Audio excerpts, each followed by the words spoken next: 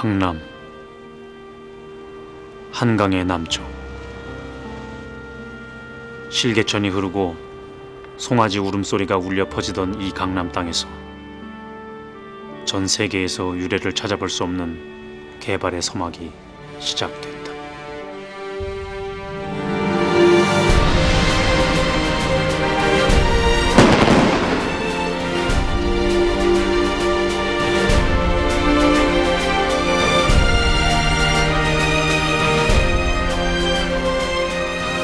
불과 40년 만에 강남의 땅값은 수십만 배나 올랐다.